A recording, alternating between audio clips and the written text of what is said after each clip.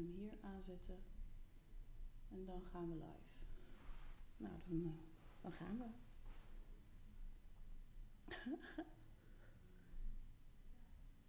nou, dat is echt eh, grappig. Ik ben gewoon zenuwachtig.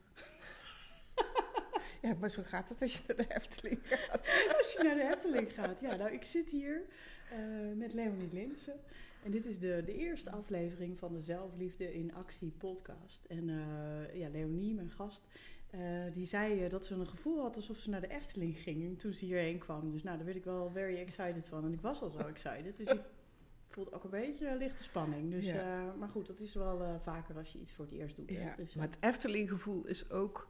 het is een leuke spanning. Ja, het is een leuke spanning. Het, is een spanning Zeker. waarvan je voelt van... Oh yes, yes, Ja. wat ga ik allemaal ervaren? Wat ga ik allemaal ontdekken? Ja, Ja, ja, dat is heel vrolijk. absoluut. Het is excited. Ja, Dat is Ja. in het Engels. dus We hebben in het Nederlands eigenlijk alleen maar spanning. ja. Maar excited zit veel een beetje meer die- opgewonden. Ja, maar ja, precies. opgewonden heeft ook weer een andere Nou, het is ook wel een betekenis. leuke op zich in het kader van zelfliefde in actie. Uit- Ik zal even wat vertellen over, over jou en waarom ik jou gevraagd heb als gast. En ehm, eh, nou, dan gaan we gewoon lekker in gesprek over zelfliefde natuurlijk. Ja. Eh, ja, ik heb Leonie leren kennen, ik volgens mij al jaren. Ik weet eigenlijk niet eens hoe lang, maar we, ik volg haar al heel lang eh, op, eh, op Facebook, op social media. En wat mij opviel is dat, dat eigenlijk alles in jouw leven, in je werk draait om liefde en liefde delen. Ja. En dat, dat, dat, dat trof mij. En dat, dat trof mij eigenlijk op een punt in mijn leven dat ik zelf daar nog minder met het onderwerp zo duidelijk bezig was. Dat is natuurlijk voor iedereen eigenlijk altijd een rode draad ergens. Maar, eh, dus, dus dat trof mij. Dat, dat viel me echt op. En ehm, ja, je hebt heel veel boeken geschreven. Ik wist niet eens hoeveel eigenlijk. Je zei net, dit is de zevende die hier, eh, die Ja. hier staat. Dus Ja. eh, wauw, eh, indrukwekkend. En ehm, ja, je hebt een eigen, een eigen bedrijf. En ik heb eh, in dit seizoen eh, eigenlijk alleen maar experts uitgenodigd... die een eigen bedrijf hebben en die bezig zijn met, met zelfliefde, met liefde... en daarmee met klanten werken. Maar natuurlijk heb je daar ook een eigen reis in afgelegd. Ja. Dat is mijn stellige overtuiging. Ja, En, Klopt. Klopt. dus nou, daar ga ik je eens even over bevragen. Dus wel, welkom. Ja, welkom. Ja. Dank je. Ja, ja dus eh, ik ben natuurlijk allereerst benieuwd van wat, eh, wat, wat doe jij in je, in je werk? Wat, eh, waar ben je mee bezig? Wat is je missie? Hoe je het ook maar wil noemen. Ja, nou, mijn missie volgens de Tolkien-kalender is het ontsluiten van het geheim. Dat was dit jaar, dat was vorig jaar, dat was het jaar ervoor. Dus wat ik de laatste jaren doe, is heel veel onderzoeken waar het gedoe in de liefde vandaan komt. En dan gaat het met, na- met name om eh, verstrikkingen waar heel veel macht, onmacht, eh, tegenstellingen, tegengestelde belangen, tegengestelde verlangens eh, aan bod komen. Ja. En dan kijken van waarom komt het dat, hoe, hoe komt dat mensen dat zo vasthouden, dat dat zo verkrampt is, dat, dat, Mm. dat mensen dan niet in, in de verzachting en in de liefde kunnen komen. Ja. En dan blijkt dus dat er heel vaak eh oud zeer aan verbonden zit van Mhm. voorouders, voorouderlijk trauma, van Ja. vorige levens. Ja. Dus wat ik doe met mensen is dat ik eh, ga tijdreizen om Mm. eh, te kijken waar zitten die verstrikkingen. Ja. En ehm, nou, dan krijg ik vaak een stukje Netflix-film te zien, zeg ik altijd. ik zeg, nou. Netflix zou rijk aan mij kunnen worden als ze wisten wat, ik voor, wat voor mooie verhalen had maar zijn. Maar het zijn echt zo van die scènes. En ehm, ik zet mijn hele systeem wagenwijd open. Mm. Dus ik zit daar echt vanuit de onvoorwaardelijke liefde. En dan kan alles binnenkomen. En dan transformeer ik met mijn hart. En eh, ja, ook met mijn seksuele energie. Dus Mhm. dat is, Ja. dat is echt mijn hele systeem. Zet Ja. ik in. Ja. Mm. Ja. Wauw. Ja. Ik word er meteen op slag nieuwsgierig van. Ja. Want ik ben nog nooit bij jou in de praktijk dus dat weet ik niet. Ehm, Ja. Maar dan, nou, ja, kennelijk zend je die energie dus er wel eh, uit. Dat dat ergens bij mij resoneerde van, eh, Ja. dit is intrigerend. Ja, ja, ja. eh, en ehm, komen mensen dan altijd met een of ander gedoe? Bedoel, waar komen ze dan mee aan, zeg maar? Nou, dat, de laatste jaren wisselt dat ook wel. eh, zeker sinds eh, de karmadrager uit is. Daar beschrijf ik dus mijn reis van de afgelopen 13 jaar. Ja. En ehm, ja, hoe, hoe ik eigenlijk, zeker door de borstkanker in 2011... ehm, en ik, ik zat hier onderweg naartoe te denken over zelfliefde. Waar gaan we het over hebben? Mhm. En toen dacht ik, oh ja, ik weet nog dat voordat ik die borstkanker ontdekte... Ja. dat ik op een, ge- had ik het ook over liefde en over zelfliefde. En dat iemand mij een reply gaf op mijn nieuwsbrief en die zei: eh, Wat is dat eigenlijk? Hoe doe je dat, houden van jezelf? Mhm. En ik had in één keer het gevoel dat ik met mijn mond vol tanden stond. Mhm. Het, het was alsof ik niet meer kon reageren en een echt een goed antwoord had. Nou, en toen begonnen ook alle, ja, alle herinneringen flitsen omhoog te komen. De nachtmerries van de Tweede Wereldoorlog, die waren al een hele tijd bezig. Mhm. En eh, toen ontdekte ik van, oh ja, eh, houden van mezelf, dat, dat is echt een ander stuk. Ja. Want ik ben heel erg geneigd om altijd rekening te houden met andere mensen, Ja. eh, te doen wat anderen willen. En dan krijg je ook heel veel liefde terug, hè? Ja. Ik bedoel, dat is gewoon zo. Ja. Maar ik, ik ontdekte toen van, oh, maar als ik werkelijk mijn hart volg, Mhm. oef, Ja. dan moet ik dingen doen Ja. die niet kunnen. Oh, wat dan? Wat dan? Nou, dan word je dus verliefd op iemand die getrouwd is Ah. en die heeft een monogame relatie. En hij viel ook op mij. Ja. Ja. Maar ja, dan kan ik die vrouw niet aandoen, want Ja. dat had ik tien jaar lang in mijn praktijk gezien, zeg maar. Hè? Ja. Al die ellende. En ook allemaal meegevoeld, want ik voel alles mee van alle mensen. Dus dat, was, dat kwam echt een soort innerlijke Zo. oorlog, Strijd. Innerlijke strijd. Ja. Nou ja, dat is natuurlijk eigenlijk precies het tegenovergestelde van zelfliefde. Dus eh, innerlijk conflict. en, Innerlijk eh, conflict. ja, terwijl mijn hart echt zei van ja, maar je Ja. hebt bij hem te zijn en je Mm. hebt het aan te gaan en je hebt het te volgen. Dus Ja. om dat iedere keer, ja, dat te volgen. Ja. dat was wel... Nou, daar kwam er heel veel drama natuurlijk. Ja. Maar ook, er brak wel ook echt iets open in mijn bewustzijn. Mm. En ja, dat is wel het grootste geschenk wat ik van die man heb mogen ontvangen. Ook al Mm. is de liefde dan nooit eh, geconsumeerd, zeg nee, maar. precies. Ja. In de ja. ware zin van het en wat woord. brak er open? Ja, alle paranormale gaven, helderziendheid, helderhorend, heldervoelend, eh, Oké. ruiken, noem het allemaal maar op. Oké, Dus, dus die die filmbeelden waar ik het net ja, over had, dat ja. was voor mij, ik vond dat vroeger paranormaal. Ik, ik weet nog dat ik naar de, in de Brabanthallen hadden ze van die beurzen, Ja. par- paranormaal beurs. En ik dacht dat, Ja. die mensen die zijn hier op aarde, die zweven, weet je wel, engelen, hoezo, belachelijk. Ik vond er, ik vond er Je nogal vond er wat van. Ja, precies. Oké, ja, dat is ook Ja, een en dan ga je het zelf ervaren. En ja. ja. dat is wel heel bijzonder. Dat is, ja, dan beland je echt in een andere wereld. Mm. Bijzonder, ja. Ja. En eh, je, je stipt al even aan eh, dat je borstkanker hebt gekregen en wat dat met je gedaan heeft. Ja. Kan je daar nog iets over vertellen? Ja, daar heb ik wel. Dat was wel echt een hele mooie reis geweest. Omdat ik ook heel erg eh, de kleine dingen ben gaan waarderen in mijn leven. Ja, ook wel echte levenslessen Mm. ehm, van gekregen. En ja, kies voor liefde was daar één van. Want Ja. ik weet nog dat mijn broer, die kreeg in diezelfde periode ook kanker. En die Wow. stierf binnen een maand. Wow. En hij wilde heel graag chemo en hij kon het niet nemen. En ik had zoiets, ik moet geen chemo, want dan ga ik dood. Weet je wel, dus dat was ook alweer zo'n conflict. Oh. En toen mijn broer overleed, toen was ik bij een natuurgeneeskundige. En, eh, en die zei tegen mij, eh, maar je moet je broer om hulp vragen, want hij is hier en dan wil je graag helpen. En ik had echt zoiets van, "Ah, ja, maar dat vind ik eng, weet je wel. En toen zei ze, doe maar gewoon. Als je vanavond in bed ligt en je geeft je borst reiki, vraag me of dat hij erbij komt, want hij wil je helpen. Wow. Nou, en toen heb ik dat s s'nachts gedaan. Mhm. Toen zei ik, nou Jan, als je er bent, dan laat je je maar zien. Nou, toen zweefde die echt zoals jij hier naast mij zit, op die afstand zo boven mij. En ik had echt zoiets van, wow, in mijn tranen in mijn ogen. En eh, hij, ik zeg, eh, hoe is het daar? Hij zegt, ja, beter dan daar, want eh, nu Mm. heb ik geen pijn meer. Ja, precies. Ja. Ja. Dus het was echt zo'n heel leuk kort Mm. gesprekje. En hij zei, ik ga je helpen. En ik ben er straks bij met de MRI en met de bestraling. En het gaat helemaal goed komen met jou. En het gaat Mm. anders aflopen dan met mij. En Wauw. dat is ook zo Wat een gebeurd. geruststelling Ja. lijkt me dat. Ja. Ja. Ja, dat wist ik heel diep van binnen al. Ja. Maar toen mijn broer, dus, toen mijn broer die kanker kreeg, toen schoot ik dus in de angst. Ja. En toen voelde ik heel sterk, maar als ik die angst blijf volgen, dan ga ik Mhm. het niet redden. Ja. Dus voor mij was dat zo'n uitnodiging om, om te kijken hoe kan ik vandaag kiezen voor liefde. Mm. En dan kan het zijn van, ah, god, ik heb eigenlijk wel zin om met die vrouw een keer een kopje koffie te doen. Zal ik ze vragen aan, ja, dat vindt ze vast stom. Mhm. Weet je wel? En dan, Ja. dat vindt ze vast stom, dat is dan weer een zelfafwijzing. Ja. Oké, wat zou liefde doen? Mm. Oh, nou dan ga ik er gewoon toch maar vragen. Ja, precies. Hè? Want ja. anders wijs ik mezelf af. Ja, nou, dat is het inderdaad. Hè? Dus dat, eh, het zit hem dus ook in dat soort kleine dagelijkse acties. Ja, Hè? ja. Dus dat, eh, ja, dat, dat en, het zijn, en ze zijn zo subtiel soms, ja, hè? precies, ja. Het gaat in een split second. Ja, ja. Ja, want ik krijg wel eens de vraag natuurlijk van, eh, nou ja, ik heb een heel boek geschreven over hoe houd je dan van jezelf, hè?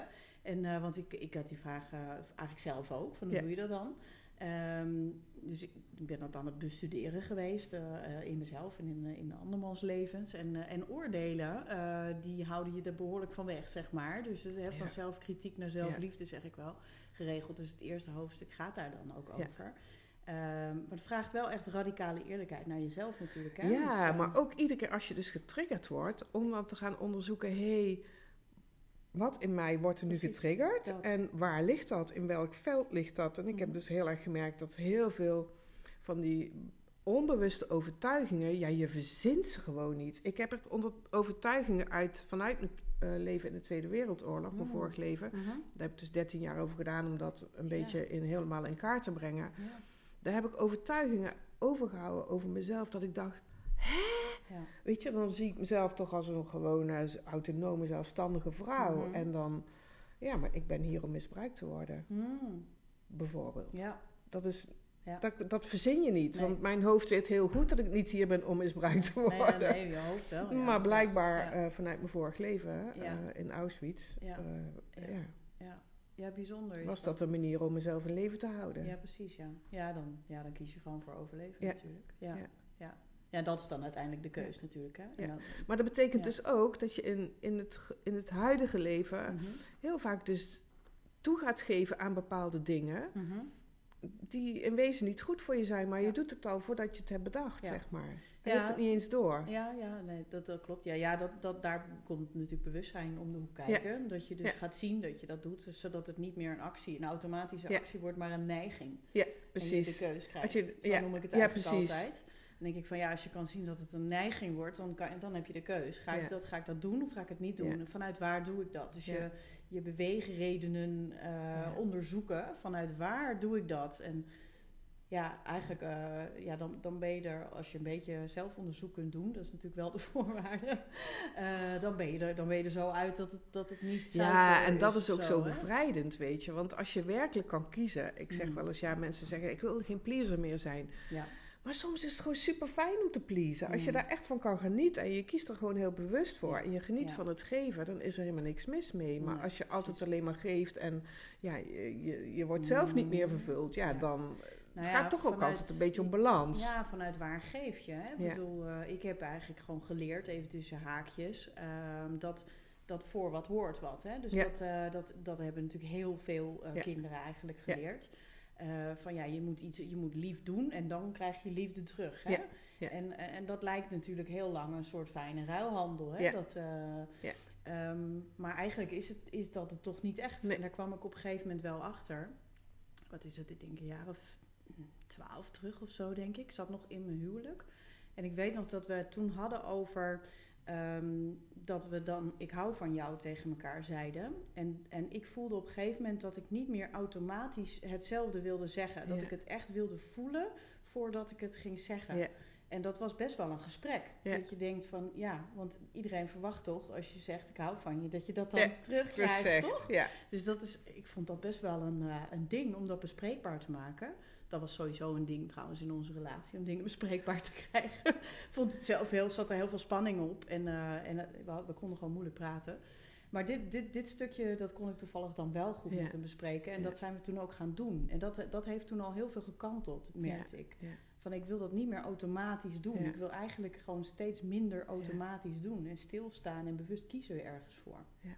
Dus dat... eh, ja, en, maar hoe ben je dan, zeg maar, voordat je dan wist dat je met zelfliefde dat, en, en, en voor de borstkanker, toen had je ook al een eigen bedrijf. Dus hoe kom je in die stroom terecht? Hoe, hoe ben jij eh, gaan ondernemen? Dus Hoe ik, was- ja, hoe hoe ik ben gaan ondernemen in Ja? 2005 was dat. Dat was Mhm. eigenlijk gewoon een soort toeval, omdat ik de opleiding voor coaching en counseling Toeval, had gedaan. Ja, ja, maar zo voelde dat echt. en toen moesten wij oefencliënten, je moest 12 uur oefencliënt. Dus ik had foldertjes gemaakt, weet je wel. Ik denk, nou dan deel ik die uit in de stad en dan kan ik misschien oefencliënten krijgen. En, Mm. en toen belde er iemand voor een afspraak en toen dacht ik, oh, maar als ik dadelijk er geld voor moet vragen, ja, dan moet ik misschien toch ook maar eh, even naar de Kamer van Koophandel. En toen ben ik naar de Kamer van Koophandel gefietst om, eh, om een bedrijf in te schrijven. Oh, ja, dus dat was nog niet eens echt een hele duidelijke, bewuste keuze. van, Nou, en nu moet alles Nee, het was en- eigenlijk meer het logisch gevolg Ja. van als ik oefencliënten heb. Ja, en ik ga het niet altijd meer voor niks doen. Nee, ik ga het niet altijd meer Dat voor niks doen. wel, dat ja, meteen. wel, Nee, ik vond mezelf meteen een van de beste coaches van de klas. Oh, Ja, dat had ik heel how sterk. that happen? Dus, eh, kwam Ja, dat gewoon vergelijken. Jezelf Ja? vergelijken met de andere studenten in de klas. En ik vond mezelf echt een van de beste. En Ja. van die hele klas, waren met 18 of zo. Ik geloof dat er vijf zijn die een eigen bedrijf zijn begonnen. Oké. En ik dacht van ja, als ik eh, zie wat ik eh, teweeg breng in gesprekken. Ja. Ja, en als ik zie wat coaches vragen tussen de 50 en de 250 euro per uur. Ja, Mhm. dan ga ik niet beginnen met 50. Nee, Nee. dat ga ik niet doen. Oké, dus, Dus ik ben een meteen basis ook- van eigenwaarde, die was er gewoon al vrij vlot. Ja, die was een vrij vroeg. Ja. Heb je dat meegekregen van huis uit? Nee, ik denk het niet. Nee, dat was echt meer. Ja, ik weet het niet. Ik, ehm, ik ben van huis uit heel erg gestuurd. Zo van eh, eerst in de gezondheidszorg, Mm. toen in het bedrijfsleven. Dus alles was een logische keuze van wat eh, mijn vader wilde, wat Mm. mijn baas wilde. En ja, die coachopleiding was de eerste dat ik dacht, en nu moet ik iets anders gaan doen, want ik voel mijn passie niet meer. Ja. Ik wil met echt, echt met mensen werken. En ik kwam op de eerste dag van die opleiding, voelde ik echt van, ik, ik ben thuis. Mm. Nu ben ik thuis. Ja. Dus dat signaal van ik voel mijn passie niet meer, die heb je wel heel serieus Ja. genomen. En, Ja, ik eh, werd heel vaak ziek. En, Ja, eh, oh ja, oké. Dus Ja. ja, het uiten zich En ik dan dus ook Een longontsteking zes Ja. weken. En ik dacht, als ik nu weer terug ga en Ja. ik ga weer door zoals ik het gedaan heb, Ja, dan gaat het mis. ja. oké. Heb je dat als voorbeeld gezien? Of, of was dat, Was is gewoon dat een gewoon een in- innerlijk weten. helder Ja. weten? Ja, Ja. mooi. Ja. Ja, Ja. nou zou ik dat helder weten noemen, Ja. maar toen... je wist het gewoon. Ja, ik wist het gewoon. ja nou ja, ik, ik heb zelf wel een ervaring dat ik gewoon... eh, ik heb ook een hele sterke intuïtie en helder weten. Dat weet ik inmiddels. Eh, maar dat, eh, dat heb ik vroeger lang niet altijd zo durven noemen, sowieso. Nee. En er was dan wel ergens zo'n stemmetje die dan zei van nou... Weet je, ik ben drie keer of twee keer met een studie gestopt. Pas de derde heb ik afgemaakt bijvoorbeeld. Dus op mijn achttiende besloot ik al, ja, hier ga ik niet mee door. Eh, nou, dat was niet per se gebruikelijk in die Nee, tijd. nee. Dus eh, je, je- Nee. je begon ergens aan en je maakt het af, zeg Ja. maar. Hè? Dat was Ja. een beetje de Ja. Ja. Eh, dus dat, dat vroeg echt wel een hoop moed. En Ja. die, die, ehm, de, de, de achtergrond in, in mijn gezin van herkomst, daar, daar voelde ik ook altijd feilloos allerlei dingen aan. Alleen als ik daar dan over begon te praten, dan werd het eigenlijk altijd ontkend. Ja. Ken je dat? Oh, ik, ik moest mijn mond houden. Ja. Er werd gewoon gezegd, eh, hou je mond, Oh. slotneus, wat weet jij er nou van? Oh ja. Dus als ik een andere mening had, dan was het altijd mond houden. En als ik dan toch wat zei, dan eh, kreeg ik een tik mijn Oh, Ja, ja, ja, je bent volgens mij van ietsje eerder bouwjaar. Dus toen waren de tikken nog iets normaler, geloof ik. Ja, dat was in dat tijd Ja. normaal. Ja. Het is toch wat, hè? Daar kan je toch helemaal niks meer bij voorstellen tegenwoordig. Ja. Maar, eh, ja, maar hoe heb je dat gekeerd dan? Want dan, je, je hebt eigenlijk dus te horen gekregen mond houden, maar je bent eigenlijk niet echt iemand die je mond eh, wil houden. Nee, dat is natuurlijk ook. maar zo gaat dat, weet je, alle wonden Zit die, alle wonden de die je krijgt hè, van, vanuit je Ja. opvoeding. Dat worden de uitnodigingen voor straks waar je Ja. passie ligt. Zo werkt het, Ja. weet je. Ja. ja, dat weet ik, maar ik vind het natuurlijk leuk om dat even uit je mond te horen. En dat zijn de cadeautjes. Ja, ja. Dus eh, ja. dat... Maar die heb je dan ook wel uitgepakt, zo te horen. ja, Ja. ja, ja, zeker weten. Ja. Ja. En, eh, en nou, je staat nu eh, eigenlijk ook zelf weer op een kruispunt met een nieuw boek en een, Ja. en een, een nieuwe weg. Kan je daar Ja. iets over vertellen? Ja, kijk, de karmadrager is eigenlijk, die beschrijft mijn innerlijke reis. En dan Mhm. heb ik daar bepaalde delen uitgehaald. Want er is nog een ander deel dat moest eruit, want de uitgever vond het te veel. Dus dat wordt nog ooit een apart boek. Maar ehm, eh, ja, dat is eigenlijk de inner- innerlijke reis die ik heb gemaakt. Ook eh, de begeleiding van mijn gidsen, spirituele wereld, de boodschappen die ik doorkrijg. En eh, de modellen die ze mij gegeven hebben. En Mhm. mijn volgende boek wordt een non-fictieboek Mm. van drama Ja. driehoek Ja. naar bewustzijn. Ja. Nou ja, de drama driehoek is natuurlijk een model wat bij coaches en therapeuten heel Zeker, bekend is. zeker. Als. Vanuit de transactionele analyse Ja. met de redder en En de slachtoffer- redder. slachtoffer Ja, ja, ja. Wij coaches zijn heel vaak redders. Ja. En I know. eh Ik ben ook slachtoffer. coach, hè, dus ik Ja, ja, dat is echt de grootste valkuil, denk ik, van, Oh. van iedere hulpverlener. Ja. En, eh, kan beter jezelf gaan redden. ja, maar goed, dat. eh, Ja. En, en het slachtoffer en de dader of de Mhm. aanklager. En Ja. ja. om van daaruit dus een nieuw model te creëren eh, Mhm. met rollen die werkzaam zijn. Want die drama-driehoek houdt ons in het drama. Mhm. En dat zie je natuurlijk in de wereld overal. We beschuldigen elkaar, er is polarisatie, er wordt echt op gestuurd, er wordt met angst gestrooid. Ja. Alsof het niks is. En, eh, Ja. Dus ik, ja. Ja. dus daar heb ik heel veel zin in meer om... eh, over. ik word er nieuwsgierig van. Vertel er eens wat meer over. over. Eh, nou, wat is er nodig volgens jou? Ja, ik denk wat er nodig is, is enerzijds een stukje gezond verstand. Ik denk dat sommige mensen vergeten om gewoon even logisch na te denken Of stil te staan? of stil te staan. Maar van de andere kant, zou ja. dat niet zijn? Want dat, Dus- dat kom ik namelijk wel Kijk, veel tegen. kijk, ik heb vroeger als kind zijnde, toen ik naar het NOS-journaal keek, vond ik dat altijd, ja, dat was... Zij wisten het. Hmm. Er, er, er straalde een hele geruststellende autoriteit van uit. Zij wisten het. Hmm. Ja, en ik heb ontdekt dat heel veel dingen gewoon niet kloppen. Mhm. Maar dat is ook als dat bewustzijn open gaat. Alles, alles wat open gaat, je, je- alles wordt ongefilterd. Dus je gaat gewoon steeds meer herkennen wat klopt en wat niet klopt. En enerzijds is dat eh, fijn, Mhm. en anderzijds is het ook heel lastig. Ja, Omdat je dan ook, eh, hoe, hoe kan ik Moet dan de verbinding maken met mensen die anders denken? Mhm. Ja. Ik wil ze niet kwijtraken. Dat Bijvoorbeeld is- mijn familie. Ja, Hè, ja, want je, je ziet heel vaak dat heel veel mensen eh, ook ehm, ja, breken met familieleden hierom. Mhm. En ik heb altijd zoiets, maar, maar dat is niet de bedoeling. Dat is niet de bedoeling. Nee. Het is niet de bedoeling van bewustzijnsvergroting dat je dan maar breekt met mensen die anders zijn of anders denken. Dus Mhm. hoe kan ik hun in hun waarde laten? Hoe kan ik mezelf in mijn waarde laten? Hoe kunnen we elkaar dan toch weer vinden? Mhm.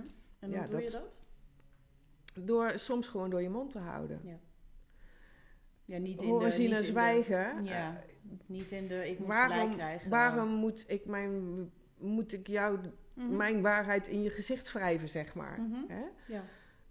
Want ja, we komen hier allemaal op aarde in een leven om bepaalde dingen te ervaren. En dan zul je zien dat sommige mensen eh, een, een kind hebben die is gevaccineerd en die is daardoor eh, gezond gebleven. Mhm. Dus die gelooft daar helemaal in. En een ander heeft een andere ervaring en die zal strijden in een volgend leven misschien juist om, op de natuurlijke wijze. Dus Mhm. we hebben allemaal zo onze eigen ervaringen. Dus ja, ik denk zwijgen is soms eh, Verbindend. verbindend, omdat je mensen ook gunt om een eigen reis te maken, een Mhm. eigen levensreis te Ja. maken. Ja, nou dat is wel een heel interessante. Want daar, daar heb ik ook zo wel wat ervaringen in. Dat, dat je soms eh, wel eens van mensen te horen krijgt van ja, weet je, ja, dat had je niet zo moeten doen of zo. Ja. ik, ja, ik eh, heb het zo gedaan.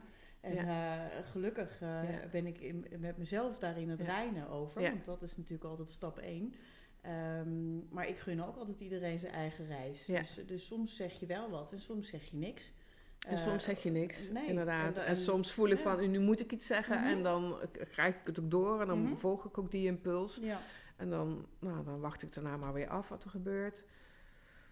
Ja. Ja, in die zin is het leven een groot spel. Ja, ik zeg altijd Ja. eh, dat het leven een grote, één grote workshop Ja. is. Dus eh, ik doe eigenlijk wel weinig aan, aan training en opleidingen en zo. Want ik denk, ja, het leven biedt mij genoeg opleiding. ja, dat is waar. Dat Ja, is hoe waar. meer bewustzijn je hebt, hoe meer je natuurlijk meemaakt en ziet. En, eh, en, en, en binnenkrijgt en, en mee mag omgaan. En, Ja, en het mooie van de reis naar binnen vind ik ook dat, ja, daar vind je eigenlijk de werkelijke innerlijke, innerlijke rust. Hè? Want als ik in het nieuws ga kijken, op Twitter ga kijken, Mhm. op Telegram en, en mensen zo hun stelling. En ik kan natuurlijk Ja. ook mijn stelling neerzetten, want ik ben hier ook met een bepaald doel. Ja. Ik moet het geheim ontbloten, dus ik moet soms dingen aankaarten Mhm. die ik zelf eigenlijk denk, daar heb ik helemaal geen zin in. maar goed, ja, soms gebeurt het gewoon, dan wordt alles stilgezet en dan Mhm. weet ik, oh, daar gaan we weer. Ik moet weer wat aankaarten, weet je wel. ja. Dus dat hoort dan gewoon ook bij mijn reis. Maar ehm, ja. En dat doe je dan wel. het kwijt. Ja, dan doe ik het gewoon. Ja. Want dan is het toch altijd weer een bepaalde angst te overwinnen. Ja. Ja. En daar mag ik dan gewoon mee afrekenen. Mhm. En Ja. dat is altijd het fijne daarvan. Dat, dat merk ik ook. Iedere keer als er weer een angst eh, vrijkomt, zeg Mhm. maar. ja. Nou, dan gaat mijn lijf shaken en Ja. dat duurt dan een minuut of tien. En dan is het weer achter de rug. En dan Oh, ah, dat lekker. Is, dat, is heel, dat is heel duidelijk dan. Ja, ja, ja, Bij ja. mij eh, gaat het niet zo duidelijk hoor, moet Nee, dat gaat echt heel duidelijk. Dat is echt zo, dan doorvoel ik het. En Ja. dan, eh, ja, dan, dan wordt het echt zo toek, toek, toek, toek, toek, worden dingen helder. En dan eh, kan ik ontspannen en dan gaat dat shaken begint dan. En dan hoor ik, het duurt 10 minuten. En dan denk ik, oh, 10 minuten, nou goed. En dan het 10 Oh, minuten dus iemand shaken. zegt jou even dat dat 10 minuten duurt. Oh, dat is ook wel Ja, dat doen mijn geruststellend. gidsen. Dat doen mijn gidsen, nou, ja. Dan moet ik toch maar eens uit gaan nodigen, denk ik. Want het, eh, Nou ja, kijk, je hebt natuurlijk ook TRE, hè, Trauma Relention Release Exercise of zo is dat. Daar doe je dus oefeningen, eh, met spieroefeningen. Mhm. En dan ga je daarna liggen en, eh, en dan wek je dus eigenlijk dat trillen op. En Mm. Dieren, als die in Ja. onveiligheid zijn, Ja, ja. in een spanning, en ze komen weer terug in de veiligheid, ja, die gaan ook even tien minuten staan shaken. Dus, eh, maar het is gewoon een natuurlijk mechanisme wat we zijn kwijtgeraakt. Ja, nou, dat had ik het toevallig laatst inderdaad ook nog over. Ja. En ik vind het heel, eh, heel mooi hoe dat, eh, hoe dat bij dieren zo zichtbaar is. En ja, je ziet dat zelden iemand doen, toch? Dat je denkt, nou, die gaat even, even springen of shaken of wat dan ook. Terwijl, Ja, bij mij gebeurt het ook vaak als ik in het zwembad lig, weet je. Als ik dan baantjes heb getrokken en dan op een gegeven moment dan, ga ik ontspannen liggen. En dan gaat mijn lijf, dan heb ik wel eens gehad toen ik nog in het zwembad eh baantjes ging trekken, dat dan een badje, eh, gaat het goed met u? Want die denken, die denken dat je dan een of erin. andere epileptische aanval hebt of zo. Ja, precies, ja. Nee hoor, alles gaat goed. Meteen wat stress afvoeren. Maar dan zou je toch ook wel geregeld eh, mensen inderdaad hebben die jou raar aankijken. Zo van, wat doet Nou, het nou? meeste gebeurt natuurlijk gewoon thuis. Ja, hè? ja, maar Ja. ja. in het water. Ik zwem tegenwoordig buiten en dan ga ik lekker. Ook lekker. lekker langs de kant waar niemand is. Ja, en dan. Ja. hoeft er ook niemand meer lastig te vallen. Nee, nou ja, wie weet is het wel inspirerend. eh. We gaan een beetje zo richting de, richting de afronding. En ik vind het altijd wel leuk om te eindigen met een, eh, met een, eh, met een tip. Dus even een beetje praktisch. Van, ja, als je dan aan zelfliefde in actie denkt, nou je, je hebt dat enorm door je eigen leven heen, geef je dat vorm, hoor ik, hoor je allemaal voorbeelden geven. Maar eh, zou je er even eentje uit kunnen pakken waarvan je zegt, nou dat wil ik wel even meegeven aan de luisteraar. Ja. De, de vraag wat zou liefde doen? Mm. Dat is wel een mooie vraag die je jezelf eh, kan stellen. En ik denk ook het besef. Kijk, soms doe je uit liefde iets voor een ander. Mhm. En soms eh, vraag je aan een ander om iets te doen uit liefde voor jou. Ja. En ja, dat zijn eigenlijk twee tegengestelde bewegingen. Dus het besef van, oké, soms geef ik iets aan een ander Mhm. omdat een ander dat nodig heeft. Mhm. En voor mij is het heel gemakkelijk om dat te geven. Maar soms mag ik ook iets vragen Mhm. omdat ik het nodig heb. Dus als je getriggerd wordt om jezelf ook af te vragen, wat heb ik nu nodig? Twee tips. Wat ja. heb ik nu nodig? Ja, dat is een hele mooie vraag. Ja. En, en, en kan ik dat ontvangen ook? Mag ik dat helemaal Maar mag ik daar ook om vragen? Maar ja, hè? Want soms precies. als je je onzeker voelt in de liefde, Ja. ja, ja mag ik eh, vragen van, ik heb eigenlijk behoefte aan een knuffel. Ja, ja, ja, I know, I know. Wil je me even ja. lekker vasthouden? Ja, ja. Ja. Ja, zeker. Dan wordt het kwetsbaar, hè? Ja. Ja. Ja, ik weet er alles van. Ja, en dat zijn we een beetje vergeten. Hè? We Ja. zijn massaal vergeten om over onze gevoelens te praten. Ja. In ieder geval in mijn opvoeding was dat er helemaal niet. Mhm. Ik denk ook dat eh, heel veel eh, mannen, met name ook, of dat wij de mannelijke wond van de oorlog in ons dragen. Mhm. Omdat, ja, als je in een oorlogsstrijd bent, dan je kan alleen maar mensen doden als je je hart afsluit. Zeker. Dus je wordt in dienst, wordt, ge- wordt jou geleerd om je hart te sluiten. Ja. En een eh, masker eh, ervoor te zetten. Ja. En eh, dus ja, dan wordt het ook lastig om, om kwetsbaar op te stellen. Zeker, zeker. En Ja. Ja. om, dat, om die barrière weer te laten zakken. Absoluut. Ja, maar Ja. het is wel mogelijk. Dus, ehm, Het is zeker mogelijk. Ja. En in die zin, dat vind ik dan misschien wel de mooiste afsluiter, mhm. is de liefdesenergie is gewoon de allergrootste energie. Die is zo krachtig, zo powerful. Ja. Ja. Overal dwars doorheen. Als een soort beam. hè. Ja. Eh, ja. Een paar liefdesbommen. Ja, precies. nou ja, hopelijk kunnen we met deze aflevering ook wat liefdesbommen laten vallen. Ja, ja. Ehm, mijn allerlaatste vraag is eigenlijk altijd: wat blijft er plakken van, eh, van dit gesprek bij jou? En dat vraag ik dan mezelf ook even. Oh, wat blijft dat plakken? Ja, wat neem je mee? Jeetje. Ja, ook, het is ook wel grappig zo eh, dat je dat we terug zijn gereisd van naar het begin van mijn ondernemerschap Mhm. en waar ik nu sta. Weet Ja. je, er zijn heel veel jaren voorbij en hoe ik begonnen ben Mhm. en hoe ik dan eh, rond die borstkanker in één keer dat alles op de schop ging. Dat Ja. alles wat ik dacht, zo is het en zo hoort het te zijn. En Ja, waarden en normen, alles ging op de schop. En, en dat er gewoon een heel ander... Ja, ergens komt er een heel ander mens tevoorschijn en Mhm. ergens Een ben je gewoon upgrade. nog steeds dezelfde. Een upgrade. Leonie. Het is een upgrade. upgrade, maar ja, ik blijf een liefdegever. Ja, Ja, ja mooi. it's not gonna Mooi. change. Ja, dus dat blijft er plakken. Ja. Ja, ja dat is mooi. Ehm, En bij jou? Ja, bij mij, ja.